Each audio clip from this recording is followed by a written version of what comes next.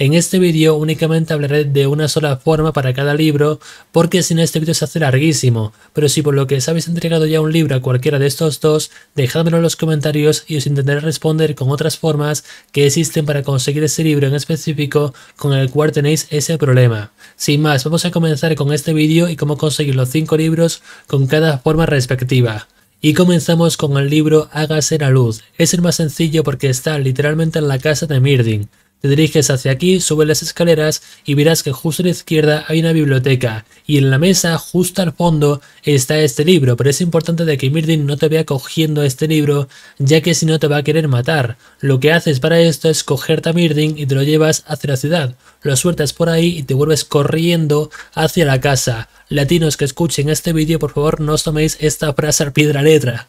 O también puedes hacer otra cosa y es directamente cogerlo, pero Mirdin cuando te quiera matar lo que es dirigirte hacia un banco, lo que sea, descansas y después vuelves y cuando vuelvas pues ya directamente a Mirdin se le pasa el enfado o lo que sea y pues te deja continuar, ¿vale? No te hace nada, sin más. Y ahora toca Son de los Caídos, para esto salimos del puesto fronterizo hacia arriba por este camino y de aquí hacia la derecha, por aquí, por aquí, por aquí, por aquí y tomas el desvío este hacia arriba y por aquí te encontrarás a Oscar que es un tipo que está siendo atacado. Lo defiendes y él te va a iniciar una misión secundaria en cuanto termines de pelear. Y básicamente esta misión secundaria te lleva literalmente hacia el libro. Acabas en una sala en este castillo delante del libro y básicamente lo coges, te lo llevas y otro menos para tu colección. Y continuamos con el libro Ice Terrestre. Para este únicamente hay que dirigirse hacia Berguts, justo aquí, y hay que dirigirse hacia ese anciano bibliotecario que rescatamos en la misión principal que se encontraba encarcelado,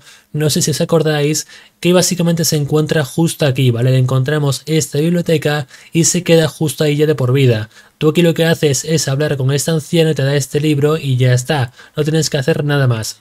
Y seguimos para bingo con escudo fulminoso. Para conseguir este otro hay que tomar el carruaje directamente desde aquí, este, para dirigirnos hacia Melve, hacia aquí. Una vez que lleguemos a Melve, literalmente vas a encontrar por aquí por la entrada un comerciante que se mueve y básicamente este te vende este libro por 5.000 monedas lo compras y otro menos. Y para finalizar y terminar cantando bingo, aquí os traigo el último, aunque este puede que venga en formato doble. No sé si pasa siempre o me pasó a mí, pero me encontré dos libros en este último, así que si te pasa a ti también, pues quizás es para todo o quizás tuve suerte, no lo sé. Sin más, para esto te diriges hacia Melve y de aquí te diriges hacia aquí arriba, hacia esta cueva de la cascada. Esta cueva es literalmente una fiesta y entenderéis por qué.